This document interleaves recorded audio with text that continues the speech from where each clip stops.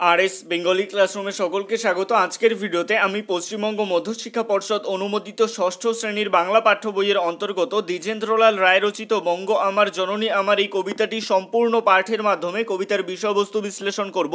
সুতরাং তোমরা ভিডিওটি স্কিপ না করে একদম প্রথম থেকে শেষ পর্যন্ত দেখবে। আশা করছি একটি ভিডিও দেখবার পরেই তোমাদের বঙ্গ আমার জননী আমার কবিতাটির বিষয়বস্তু বুঝতে আর কোনো অসুবিধা হবে না। দেখো, বঙ্গ আমার জননী আমার এই কবিতাটি লিখেছেন দ্বিজেন্দ্রলাল রায়। তো মূল কবিতাতে যাওয়ার আগে আমরা দ্বিজেন্দ্রলাল রায়ের কবি পরিচিতি সম্পর্কে কিছু কথা জেনে নেব। তোমাদের পাঠ্য বইতে মূল কবিতাটি যে পৃষ্ঠায় শেষ হয়েছে তার পরের পৃষ্ঠাতেই দেখবে দ্বিজেন্দ্রলাল রায় সম্পর্কে কিছু তথ্য দেওয়া রয়েছে। এখানে বলা হয়েছে আঠেরোশো তেষট্টি থেকে উনিশশো তেরো খ্রিস্টাব্দ ছিল তার সময়কাল। অর্থাৎ দ্বিজেন্দ্রলাল রায় আঠেরোশো তেষট্টি খ্রিস্টাব্দে জন্মগ্রহণ করেন। এই তথ্যটা তোমরা খাতায় লিখে নিতে পারো যে দ্বিজেন্দ্রলাল রায়ের জন্মস্থান ছিল নদিয়া জেলার কৃষ্ণনগরে। কি বলা হচ্ছে তার সম্পর্কে? বাংলা সাহিত্যের নাম করা নাট্যকার হলেও দ্বিজেন্দ্রলালের প্রথম পরিচয় কবি হিসেবে। অর্থাৎ দ্বিজেন্দ্রলাল রায় বাংলা সাহিত্যে নাট্যকার হিসেবে বেশি খ্যাতি অর্জন করেছিলেন বা নাটক লিখে তিনি বেশি বিখ্যাত হয়েছিলেন। তবুও সাহিত্য জগতে পদার্পণ করেছিলেন কবিতা লেখার মাধ্যমে। মাত্র উনিশ বছর বয়সে প্রকাশিত হয় তার প্রথম কাব্যগ্রন্থ আর্যগাথা প্রথম ভাগ। তাহলে দ্বিজেন্দ্রলাল রায়ের প্রথম কাব্যগ্রন্থ আর্যগাথা প্রথম ভাগ। কবি রচিত অন্যান্য উল্লেখযোগ্য কাব্যগ্রন্থগুলি হলো, অর্থাৎ তার রচিত অন্যান্য বিভিন্ন কাব্যগ্রন্থের নাম এখানে দেওয়া রয়েছে, আর্যগাথা দ্বিতীয় ভাগ, মন্ত্র, আষাঢ়ে, আলেখ্য, ত্রিবেণী ইত্যাদি। এখান থেকে কিছু কাব্যগ্রন্থের নাম অবশ্যই তোমরা মুখস্থ করে রাখবে।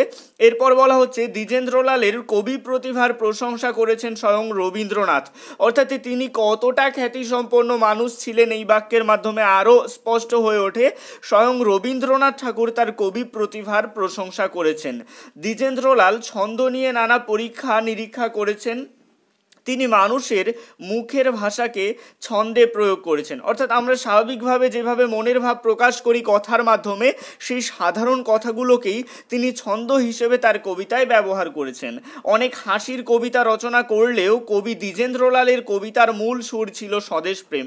অর্থাৎ তিনি অনেক হাস্যরসাত্মক কবিতা বা হাসির কবিতা রচনা করলেও তার কবিতার মূল সুর বা মূল লক্ষ্য বা উদ্দেশ্য ছিল স্বদেশ প্রেমকে তুলে ধরা বা নিজের দেশের প্রতি যে প্রেম, নিজের মাতৃভূমির প্রতি যে প্রেম, সেই প্রেমকে তুলে ধরা। আলোচ্য, আমাদের আজকের যে পাঠ্যাংশটি রয়েছে, বঙ্গ আমার জননী আমার, এই বঙ্গ আমার জননী আমার কবিতাতেও কবির মাতৃভূমির প্রতি ভালোবাসা ফুটে উঠেছে।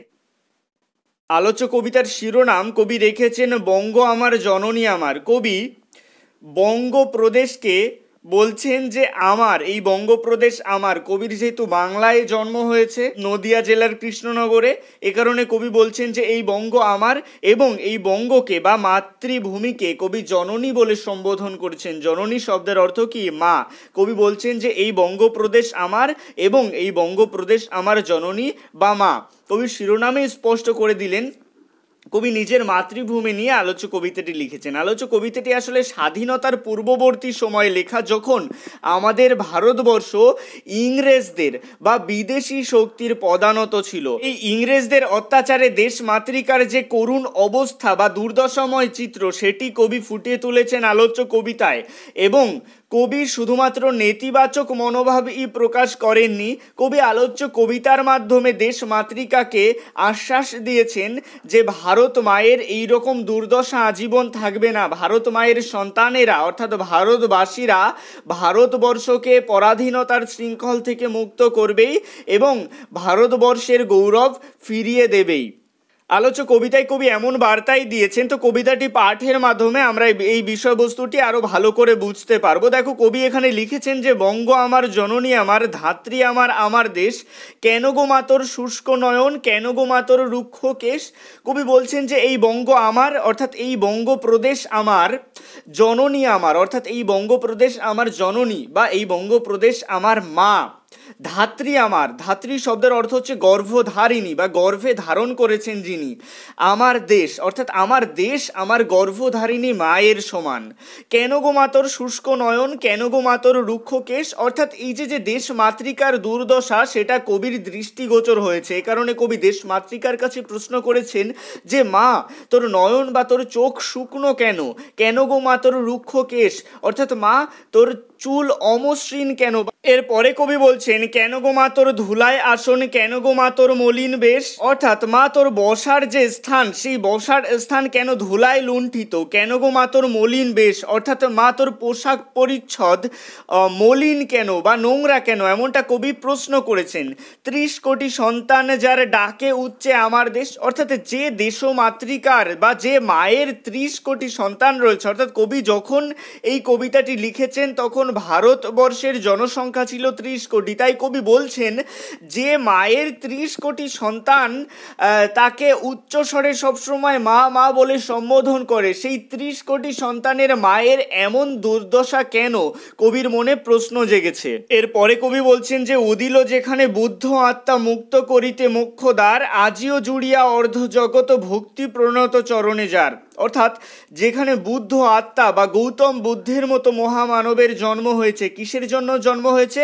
মুক্ত করিতে মুখ্য দ্বার, অর্থাৎ মুক্তির দ্বার খুলে দিতে যেখানে মহামানব গৌতম বুদ্ধের মতো ব্যক্তিত্বের জন্ম হয়েছে, আজিও জুড়িয়া অর্ধ জগৎ ভক্তি প্রণত চরণে যার। অর্থাৎ আজকের দিনে দাঁড়িয়েও অর্ধেক জগৎ বা অর্ধেক পৃথিবীর মানুষ গৌতম বুদ্ধের চরণে ভক্তি ভরে প্রণাম জানায় বা শ্রদ্ধা জানায় সেই গৌতম বুদ্ধের জননী, অর্থাৎ সেই গৌতম বুদ্ধ যে স্থানে জন্মগ্রহণ করেছেন, সেই ভারত মাতা, তার আজ এই দশা কেন? কবির মনে প্রশ্ন জেগেছে।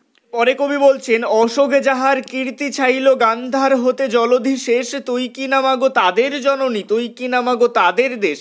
এরপর কবি সম্রাট অশোকের কথা বলেছেন, মগধের রাজা অশোক, যিনি চণ্ডাশোক থেকে ধর্মাশোকে পরিণত হয়েছিলেন, সে অশোকের কীর্তি ছেয়ে গেছিল গান্ধার থেকে জলধি, অর্থাৎ সমুদ্র পর্যন্ত।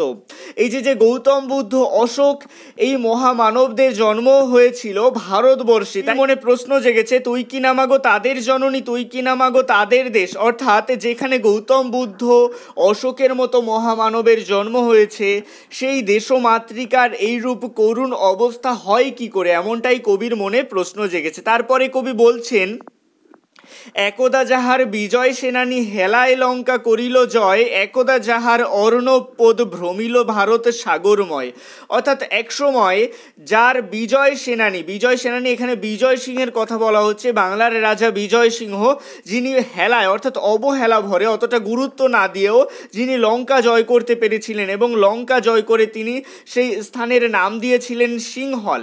সেই রাজা বিজয় সিংহের কৃতিত্বের কথা এখানে তুলে ধরা হচ্ছে। বিজয় সিংহের জন্ম হয়েছিল আমাদের এই বঙ্গপ্রদেশে। তারপরে কবি বলছেন, একদা যাহার অর্ণপথ ভ্রমিল ভারত সাগরময়। অর্ণপথ বলতে এখানে জাহাজ এর কথা বলা হচ্ছে। কবি বলছেন যে, একদা এক সময় আমাদের এই বাঙালিদের জাহাজ ভারত সাগরময় ঘুরেছিল। সন্তান যার তিব্বতে চীনে জাপানে গঠিল উপনিবেশ, অর্থাৎ যে ভারতের সন্তানেরা তিব্বত দেশে, চীন দেশে, জাপান দেশে নিজেদের আবাস স্থল গড়ে তুলেছিল, তার কিনা এই ধুলায় আসন, তার কিনা এই ছিন্নবেশ? অর্থাৎ সেই সন্তানের মা, ভারত মাতার আজকে এই যে যে ধুলায় আসন, অর্থাৎ ভারত মাতার আজ আসন ধোলায় লুণ্ঠিত এবং তার পরনের বেশ আজ ছিন্ন। এটা দেখে কবি বিস্মিত হচ্ছেন। তাই কবির মনে প্রশ্ন জাগছে। এর পরের স্তবকেও কবি বঙ্গপ্রদেশের গৌরব গাথা বর্ণনা করেছেন। কীভাবে গৌরব গাথা বর্ণনা করেছেন? দেখো, এখানে লিখেছেন, উঠিল যেখানে মুরজ মন্ত্রে নিমাই কণ্ঠে মধুর তান। এই মুরজ মন্ত্রের শব্দের অর্থ কি? মুরজ মন্ত্রে শব্দের অর্থ হচ্ছে বাদ্যযন্ত্র সহযোগে গীত ও শব্দ বাক্য। অর্থাৎ আমাদের এই বঙ্গপ্রদেশে যেখানে মুরজ মন্ত্রে অর্থাৎ বাদ্যযন্ত্র সহযোগে গীত ও শব্দ বাক্যের দ্বারা নিমাই বা শ্রী চৈতন্যদেব, তার কণ্ঠে আমরা মধুর তান শুনেছি, মধুর গান শুনেছি শুনেছি মহামিলনের গান, ঐক্যের গান।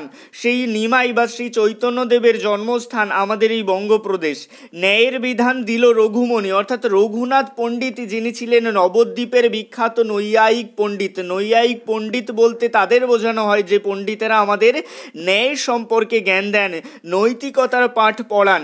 সেই রঘুমণি পণ্ডিতের জন্মস্থান এই বঙ্গপ্রদেশ। তারপরে বলা হচ্ছে চণ্ডী দাস যেথা গাহিল গান, অর্থাৎ বৈষ্ণব পদকর্তা শ্রী চৈতন্যদেবের পূর্ববর্তী বা শ্রী চৈতন্যদেবের আগের বৈষ্ণব পদকর্তা ছিলেন এই চণ্ডী দাস এই চণ্ডী দাস ও আমাদের এই বঙ্গে গান করেছিলেন, তাই কবি এখানে বলছেন, যুদ্ধ করিল প্রতাপাদিত্য প্রতাপাদিত্য ছিলেন বঙ্গপ্রদেশের একজন বারো ভূইয়া। তিনি মুঘলদের সাথে বিনা ভয়ে যুদ্ধ করেছিলেন। তাই কবি বলছেন যে, তুই তো মা সেই ধন্য দেশ, অর্থাৎ এই সন্তানদের গর্বে গর্বিত সেই ধন্য দেশ তুই বা বঙ্গপ্রদেশ তুই। ধন্য আমরা, অর্থাৎ আমরা এই বাঙালিরা, আমরা বাঙালিরা ধন্য। যদি এ শিরায় থাকে তাদের রক্ত লেশ শব্দের অর্থ হচ্ছে ছোঁয়া। এই সমস্ত মহান বাঙালিদের রক্তের ছোঁয়া যদি আমাদের মধ্যে থাকে, আমাদের শিরায় থাকে বা রক্তনালীতে থাকে, তাহলে আমরা ধন্য। বা কবি এখানে বোঝাতে চেয়েছেন যে আমরা বাঙালি হয়ে জন্মেছি, এটাই যেন আমাদের গর্বের কারণ। এরপরে কবি বলছেন, যদিও মাতর দিব্য আলোকে ঘিরে আছে, আজ আধার ঘোর কেটে যাবে মেঘ, নবীন গরিমা ভাতিবে আবার ললাটে তোর। কবি বলছেন যে, যদিও বঙ্গপ্রদেশের দিব্য আলোকে, অর্থাৎ বঙ্গপ্রদেশের যে স্বর্গীয় আলো, সেই স্বর্গীয় আলো আজ পরাধীনতার আধারে আবদ্ধ হয়ে রয়েছে, পরাধীনতার আধারে ঢেকে রয়েছে। তা তবুও কবি আশ্বাস দিচ্ছেন যে কেটে যাবে মেঘ, এই অন্ধকার, পরাধীনতার অন্ধকার কেটে যাবে। নবীন গরিমা, অর্থাৎ নতুন গৌরব, ভাতিবে বা প্রকাশিত হবে, আবার ললাটে তোর। অর্থাৎ এই বঙ্গ জননীর কপালে আবার নতুন গরিমা বা নতুন গৌরব প্রকাশিত হবে। আমরা ঘুচাবো মাতর দৈন, অর্থাৎ মা, বা দেশমাতৃকা, বা বঙ্গমাতা, আমরা, অর্থাৎ তোর সন্তানেরা, অর্থাৎ এই দেশবাসীরা, তোর দৈন ঘোচাবো, অর্থাৎ তোর দারিদ্রতা দূর করব। মানুষ আমরা নহিত মেষ, অর্থাৎ আমরা যে মানুষ, দেশবাসীদের মধ্যে যে মনুষ্যত্ব রয়েছে, আমরা তো মেষ নই, বা আমরা তো ভেড়া নই যে আমাদের মধ্যে কোনো মনুষ্যত্ব থাকবে না। আমরা মানুষ, তাই আমাদের এই মনুষ্যত্বের জন্যই আমরা যান দিয়ে, প্রাণ দিয়ে লড়াই করে তোর এই দৈন দশা ঘোচাবো, তোর এই দারিদ্র দূর করব, তোকে পরাধীনতার শৃঙ্খল থেকে মুক্ত করব। কবি এমন আশ্বাস দিচ্ছেন দেশমাতৃকাকে বা বঙ্গমাতাকে।